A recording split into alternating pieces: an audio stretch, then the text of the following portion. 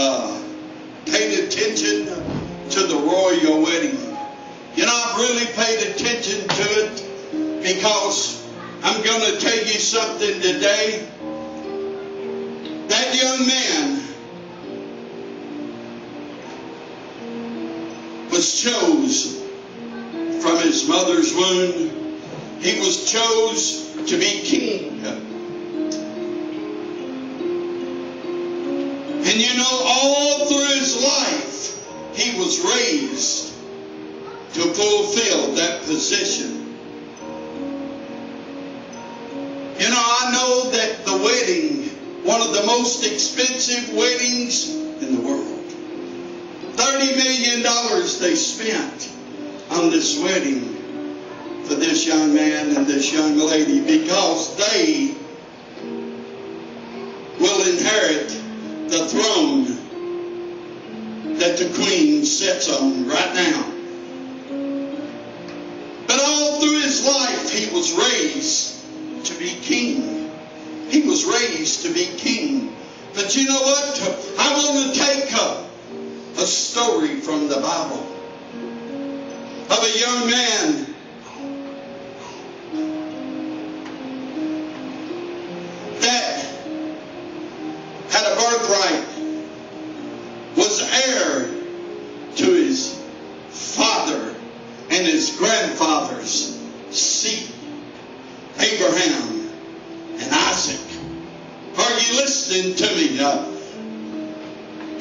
said that the, the two, uh,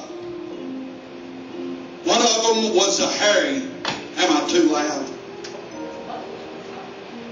That speaker there is bad, so let's see what I can do to it.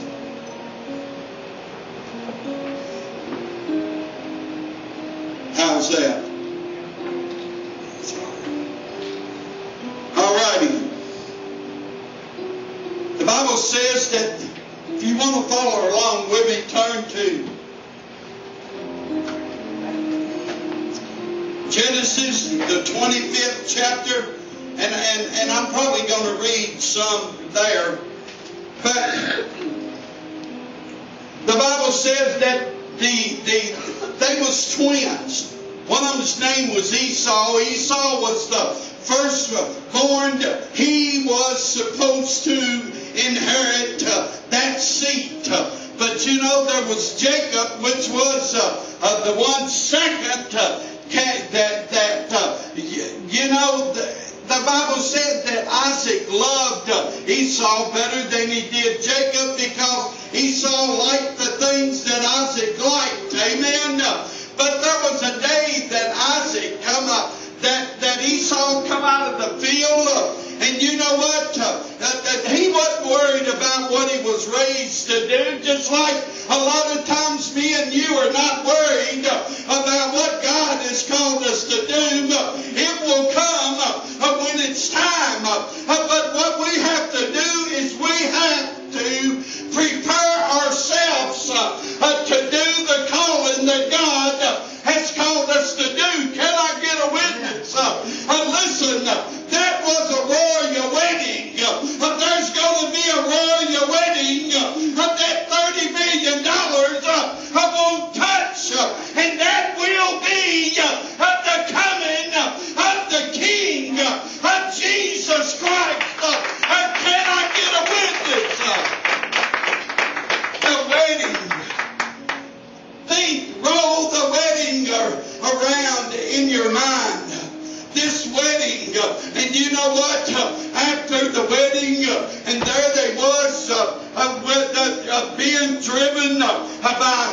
horse and carriage down unto uh, wherever the, the rest of it was.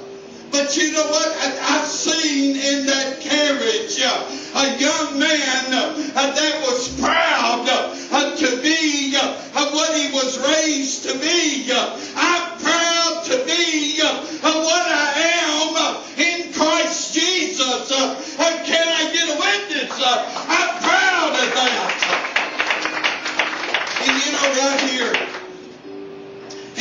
26th chapter, it said, and Isaac loved Esau.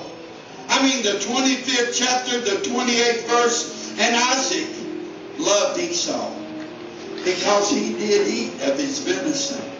But Rebekah loved Jacob. Are you listening to me?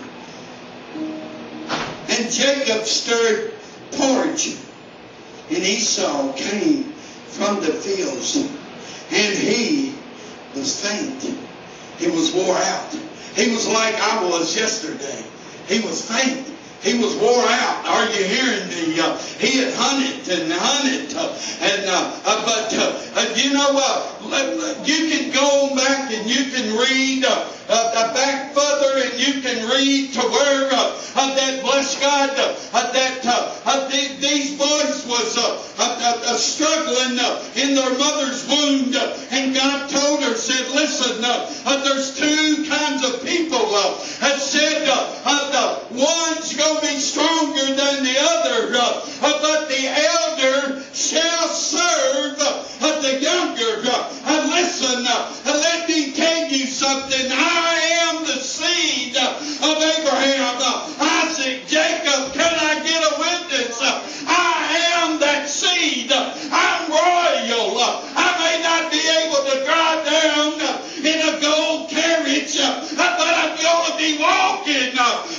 streets of gold uh, one day, bless God, as long as I can hold on. But so many people. I know the Bible tells us not to worry about what tomorrow may bring. But it gives us reason to plan for tomorrow.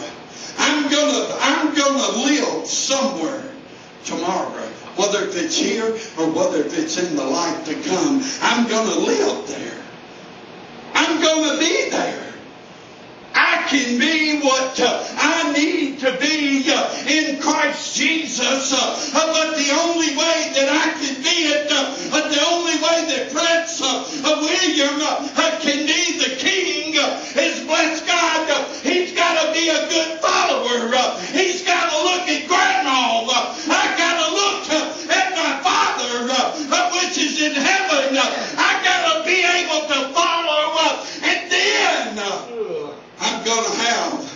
I'm going to inherit a throne. Are you listening? I'm going to inherit, I'm royal. You may not be royal, but I'm royal. And you know how I know that I'm royal? It's only kind of listen. Uh, there was a man called Jesus uh, came to this earth uh, when he come for he come uh, uh, to save uh, man. Uh, bless God. Again, we're talking about people. bless God. We can go back further and we can find out where Daddy Adam and Mama, and Eve uh, separated us uh, from the love of God. Amen. Uh, listen, but Jesus come to give us life and to give it more abundantly. Jesus came to build the bridge across the great gulf that separated me and you from God. You sit and you say you don't know what you're talking about. As Jody was saying yesterday, somebody was saying it. Your money,